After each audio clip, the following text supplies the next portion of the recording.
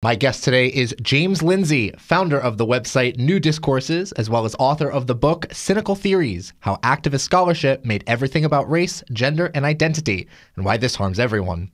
James, welcome to the show. Hey, I'm glad to be here. Of course.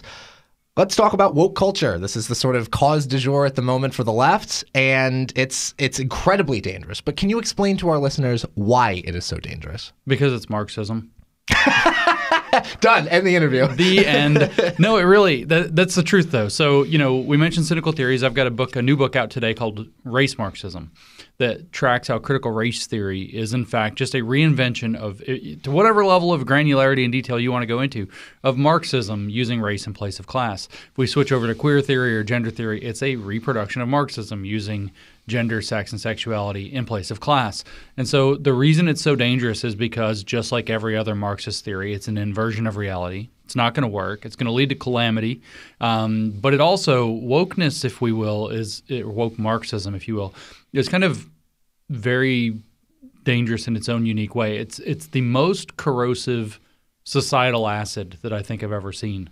So, what is it about Marxism that seems to just not go away? I mean, we were having this conversation back decades ago about how Marxism was a problem. Why is it now resurging again? Well, we never really got rid of it. Is the problem? You know, the the Marxists of the 20th century realized that infiltration and subversion was a necessary tactic, whereas Marxists before thought that you know revolution, organizing and revolution would be the tactic. So organizing meant getting big groups of people to do labor movements and then to show up and to protest and to, to form huge unions and do all of this kind of stuff, and then to try to take over the means of production, literally through if you look at whether it's Lenin, you look at Mao, through violent revolution. Mao himself, or sorry, Marx himself said that uh, violence is the midwife of revolution, and so that didn't work out.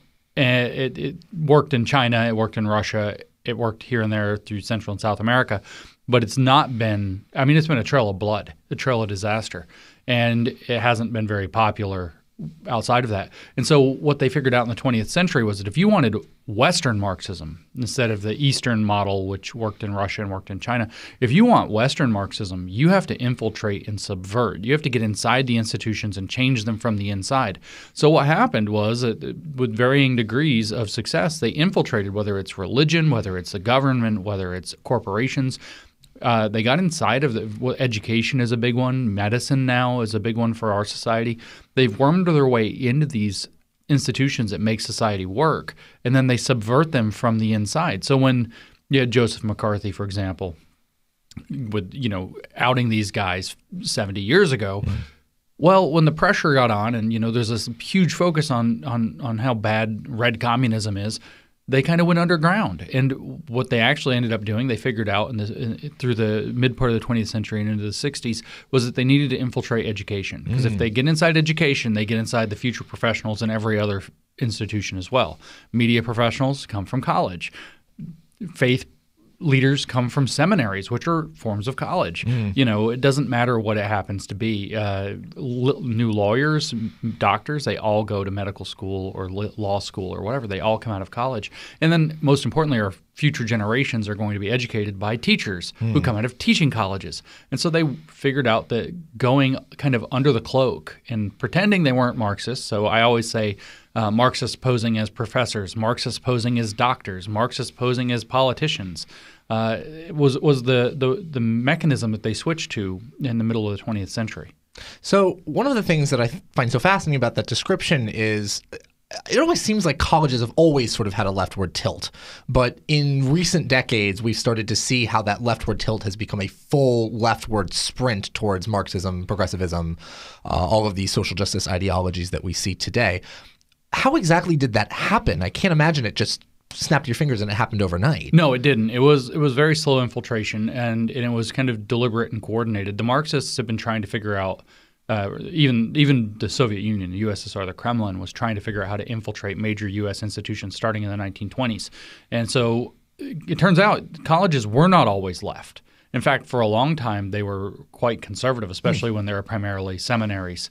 You know, you look at you look at Princeton, and it was originally Princeton Theological Seminary. You look at Harvard, it was originally a seminary. They're actually quite conservative. But the Marxists figured out that because of their positioning as theorists, as social theorists and economic theorists, that they could work their way into university faculties. And they actually did very slowly, very slowly, until about the 1960s when everything kind of blew up and the academic left kind of took over because they had essentially abandoned the working class. At, Marxism was always a champion of the working class. You don't think of your elbow patch professors as being the working class because they're not. In fact, mm. they're explicitly part of the bourgeoisie that Marx hated. But uh, in the 1960s, they realized advanced capitalism, they said, Max Horkheimer, a Marxist, so called neo Marxist of the Frankfurt School, said explicitly Marx was wrong. He said that Marx believed that capitalism would immiserate the working class, but in fact it allowed them to build a better life. And so they switched tack. They abandoned the working class and they shifted their attention to uh, building out inside of these elite institutions, in particular these these colleges and universities. So they slowly started to colonize the faculty, slowly started to colonize the administration, and under banners like academic freedom and the claim that they're teaching social theory and the claim that they're they're just teaching economic theory, they slowly created conditions where they could press out conservatives mm. and preferentially admit uh, progressives. And over the course of literally a few academic generations, so 30 years, they were able to massively change the composition of universities from tilting somewhat conservative to tilting not just slightly but strongly left. And, and that's an accelerating process. Once you get far enough left, it just, or, or right for that matter, it becomes self sustaining and self reinforcing. Uh, and then they're, like you said, in a full sprint into Marxism right now. Is there any way for us to reclaim the universities, maybe for not just the right, but maybe the center, not necessarily so far to the left, just bringing it back to a place that's kind of more moderate? Not easily. It's going to take removing people from positions of power and hanging funding on on uh, you know denouncing or removing these ideologies, I think we're going to have to see, we, we would have to see what amounts to massive purges, which is mm. not a friendly word. We're going to have to see, you know, state legislatures stepping in and saying, we're not going to fund this. Or there's, you know, some states are, are playing around with curriculum transparency bills that make it so that on if say critical race theory or gender theory or whatever is going to feature within a course it has to be on the syllabus. And if you as a student show up to that course and it's on the syllabus then you're entitled to be able to drop the course and get your money back and not mm. be penalized academic, academically for it. Like we're going to have to see things that create um, the ability for people to push back. But primarily what we're going to have to see is boards of regents stepping up and starting to f- swap out administrators for people who want this to be the university should be for everybody. It shouldn't mm. be a left institution or a right institution. It shouldn't be a purely religious institution or any other thing. It, it should be for everybody to go get an education uh, at the the higher education level, a broad liberal education or a, a specific technical education, and it's going to require finding who's which is virtually every administrator now and a lot of the faculty who's putting you know, an ideological and political bias this strongly into it, and what are we going to do about it? Which is going to amount to removing them. Marxists don't stop. They don't. You can't ask them to stop and then they'll stop. They have to be taken out of positions of power. Hmm. Now, this is an issue that affects conservatives, classical liberals, people on the right or on the left who are maybe not so absorbed in the wokeism. I guess I'm curious about you. Do you consider yourself a conservative? Um, no, not really. Uh, I do notice that when I talk about conservatives now, I tend to use the pronoun we. So maybe on some psychological level, getting down in there, that I've started to identify. But I don't know if I mean we conservatives or we people who are standing up for broadly, you know, classically liberal values like the United States was founded upon.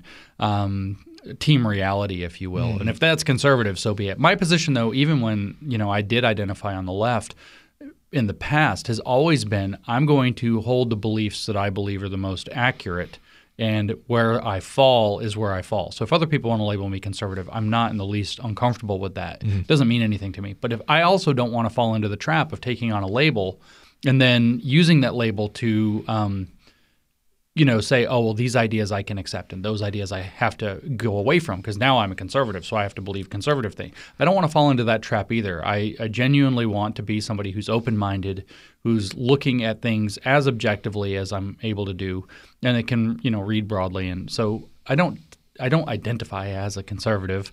Um, maybe I'm trans conservative. I don't know. Um, but no, I'm I'm not uncomfortable with being labeled that way. And certainly, most of the people I spend time with, and most of the people I find agreement with, are conservative. That said, if we look at you know kind of staunch conservatives who believe that kind of classically liberal, you know Thomas Jefferson American values conservatives are actually also libs, terrible like the actual you know reactionary right or the actual you know kind of conservative hard right.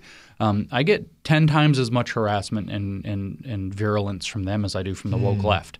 I get much more attack. And I don't know if that is another sign that I'm positioned right of center now. So the purity spiral hits me that way rather than the other way. It used to be the other way around. Mm. Um, or if it's that uh, I'm not as conservative. As, I don't know. Because the reason I ask is I identify a lot of the things that you're saying with a lot of these classical liberals, such as Bill Maher, who politically speaking is definitely not a conservative. He's very much a uh, kind of like big government, these social programs that are supported by the state. Uh, but he also completely agrees that wokeism is a problem. Yeah. So I guess my question is there are so many of these people who are coming out of the woodwork in terms of free speech needs to be a valuable asset of American society that I question is this a, a sustainable model for the left? Is a anti free speech woke agenda going to to succeed or are they moving back from that? Well, you've asked two questions. Is it sustainable and will it succeed? Are two different questions. It's not sustainable. Of course, it's not sustainable. Mm-hmm. It's a catastrophe. Um, it's internally contradictory. It's utterly nonsense. It's an inversion of reality. It's a disaster in the making. It, it's not sustainable. So, what it has is a tremendous amount of momentum. And it has the goal of, you know, you talk about the political pendulum swinging. Mm-hmm. It has the goal of breaking the pendulum so it can't swing back, it can't mm-hmm. go the other way. And so, can it succeed? Um, well, I don't mean to sound like a philosopher, but it depends on what you mean by succeed. It can seize power, if that's what you mean, and institute a, a reign of, of, I guess, tyranny is the only way to put it, that will be very difficult, if not impossible, to get out of, given the technological tools they have on their side now. Um, on the other hand, it won't be pleasant. So, if, where's your definition of success? A lot of people, you know, did the Soviet Union succeed? They they bring, you know, well, communism is inherently contradictory; it'll always collapse.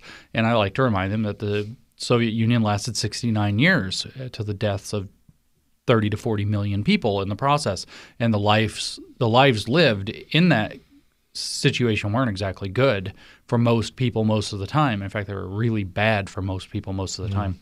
And 69 years is a long time. To, so the two different questions on the table are: Can it succeed at seizing power? Yes, it could. So we must fight it. Um, will it work? No. Is it sustainable? No. Will it end in calamity? Absolutely. If it's allowed to run amok. Uh, so it it's a nightmare. it's a nightmare, but it's a dangerous nightmare because right. it can it can and will, if allowed to, take what institutional power it has and will, ironically enough, capitalize upon that mm. to institute a tyranny under its control, which has always been its goal. So we talked a little bit about racial kind of theory here. We talked about critical race theory, but as well, to me, one of the vanguards of the cultural expression of this type of wokeism is Black Lives Matter. Uh-huh. Black Lives Matter has recently been revealed to basically be a scam in the in the sense that it's it's kind of scammed a lot of people out of a lot a lot of money. Mm. I think it was eighty million dollars or something along those lines. With revelations like this, that organizations based on wokeism tend to be scams, does that affect? The popularity of these types of movements. Absolutely. I mean, what you're seeing is. Um, I mean, I like the analogy of like the wheels coming off the bus. Like the bus has been running, the wheels are flying off, the thing is skidding with sparks flying everywhere at this point, and people can see it. And so, it, I mean, you wouldn't jump off of the moving bus, but supposing you could safely, you'd definitely be getting off of the bus. And so, people are diving off of the bus right now. They're they're uh, definitely these things are are why I'm saying you know the, what they have is a lot of momentum, and if they can cross the finish line into tyranny, then we're in a bad place. That's mm. what happened with the Bolsheviks. You know, what they were doing, murdering people like crazy, was not popular, but they had enough momentum and insufficient resistance so that they were able to cross the finish line, as it were, and establish a tyrannical dictatorship under Lenin. Same, we're in the same kind of situation, but I think it's losing momentum partly because it's so obviously fraudulent so cor- obviously corrupt. I call it, in fact, the iron law of woke corruption. If you see a woke organization, I guarantee you it's corrupt. Hmm. It is an iron law. I virtually guarantee. If you see a woke politician, I bet you they're doing something corrupt. If you have a woke corporate leader, I w- can't name anybody. I'm not accusing anybody, but I bet you there's an embezzlement scam somewhere going. I got Enron level problems going on here, hmm. and so the whole thing is a gigantic grift.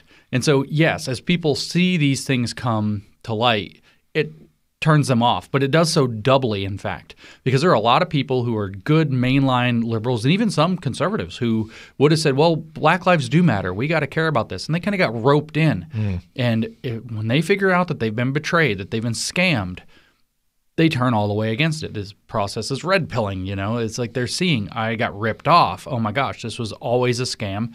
This was never a legitimate organization. The best things you can say about it are terrible.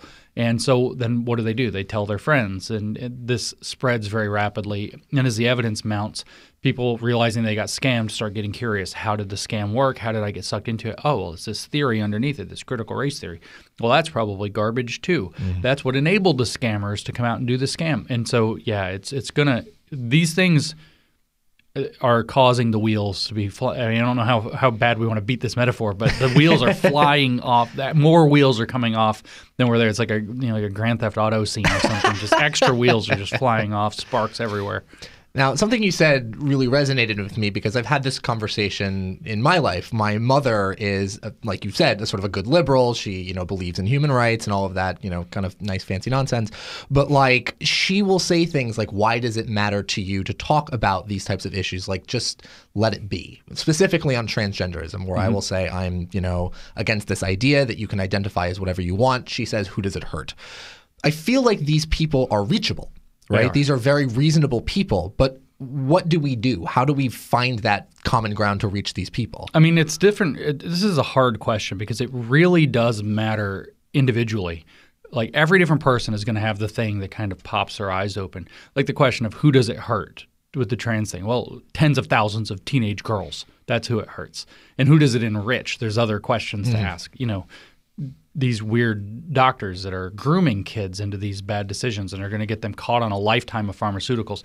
So, you know, broadening that perspective becomes something that might open certain eyes. What I actually formulated very early on after you know the woke explosion kind of happened is one of the earliest essays I wrote on new discourses in, in the summer of 2020. It was called the woke breaking point, and I told I, I, I ta- had a conversation with a friend, and what it was was the idea was rather than you know me trying to give you some thing that if you just say this that'll reach people, it was to ask them what would be too far for you, what would mm. cause you to hang it up and say maybe this trans thing is causing harm, and let them sit with it and think about it. What would break break your your you know support for this, and where's the line? And it maybe you don't have one. Mm.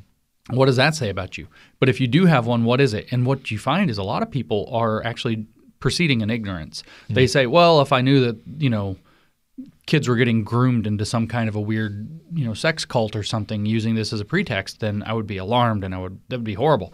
And then it turns out there's evidence for that already, right? And so you can say, well, it turns out that's actually happening. Have you seen this? But if you get that where their curiosity opens up first, you can have a more productive conversation, I think there's it's very difficult, but you never know. You never know what people are going to see. Like you said, you know, Black Lives Matter scammed people out of eighty million dollars. That is going to open some eyes. Um, it has no leadership now. Nobody knows who's in control of like literally tens of millions of dollars. That'll open some eyes. You, you you see the right picture at the right time of a 13 year old girl who's had a double mastectomy uh, because she got groomed by a school counselor that'll open some eyes. You see a book like Genderqueer that shows, you know, pornographic drawings and has blatantly. I don't know if you've read that book, but has some incredibly sexual imagery, both verbal and uh, in the form of drawings, being a graphic novel.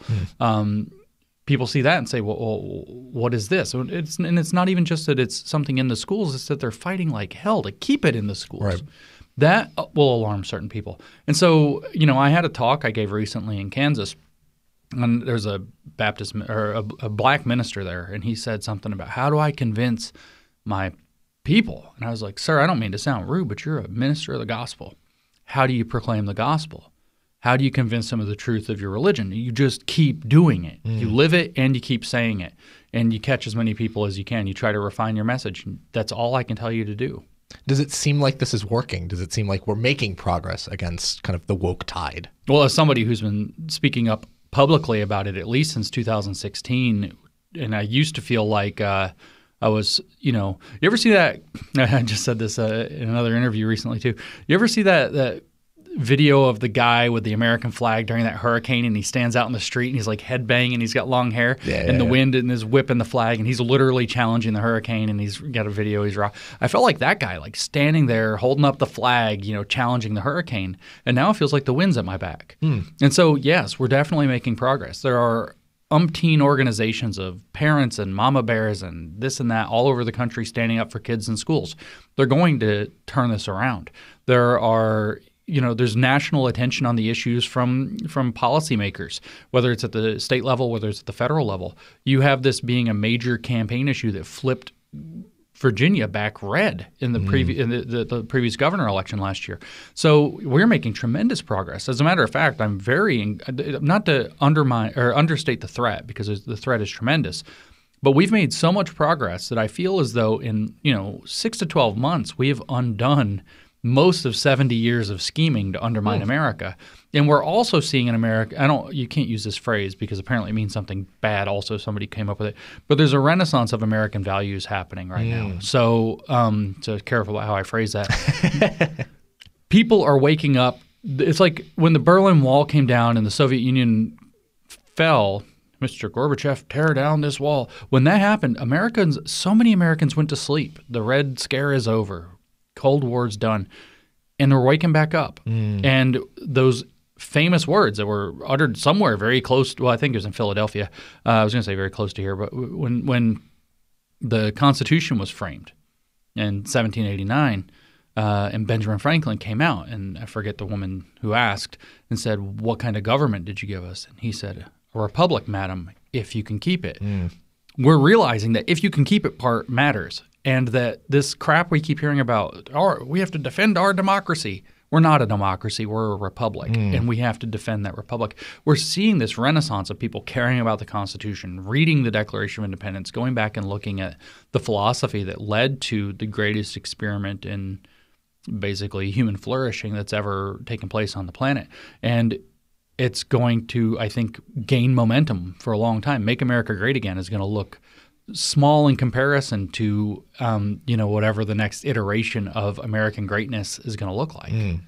I mean, that, that kind of implies to me a cyclical nature to this kind of thing. I'm imagining Cthulhu sleeping beneath the tides. you know, the woke mob will come again, right? You know, he sleeps in, in the city. But is that what we're facing here? Is it sort of just pushing it back until it comes back again? I mean, they say that these things happen roughly every three generations because you forget, people forget, but it comes back, you know, differently. You know, some I think about this a lot. I don't have an answer for you. It might be, it might be that the nature of keeping a republic is that you're constantly going to have to find the new variation of evil.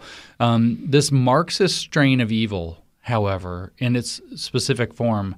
I don't know if it's on its last leg. I mean, wokeism is actually stupid. Hmm. It it it's now you talk about these contradictions, if you will, that reveal to people that something's wrong. Look at the trucker thing going on in Ottawa, and so you actually have a workers' movement. You actually have a spontaneous workers' movement, almost exactly like Karl Marx predicted, and you have literally the Communist Party of Canada denouncing it. It's like they have gone so far off of what they, you know, what people understand them to be. And the, the, the identity theories are so noxious and so ridiculous, de- denying biological sex, hmm. so ridiculous that it's it. This may be what I would refer to. Marxism in general is what I refer to as scientific Gnosticism. It may be that this this attempt is the last stand of this particular type of evil. Hmm. But I also think this type of evil is what's recorded in Genesis 3 with the snake, which means if you take that as emblematic of the oldest, you know, dramas of humanity, then this is a problem that does keep coming back in different forms throughout time.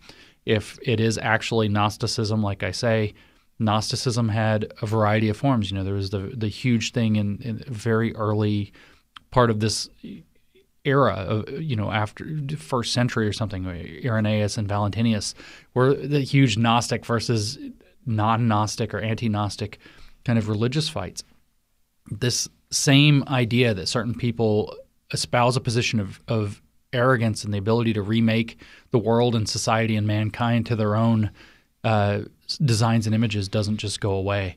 Um, so we will have to be ever on guard for it. But I think we also are in an opportunity to learn more about it and to see how it's changed forms throughout the past, say, 200, 250 years.